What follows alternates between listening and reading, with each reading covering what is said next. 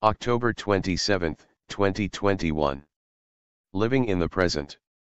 Page 313. We want to look our past in the face, see it for what it really was, and release it so we can live today. Basic text, p.29.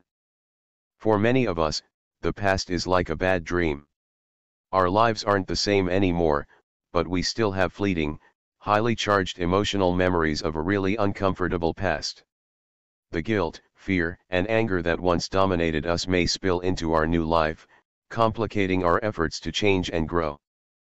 The 12 steps are the formula that helps us learn to put the past in its place.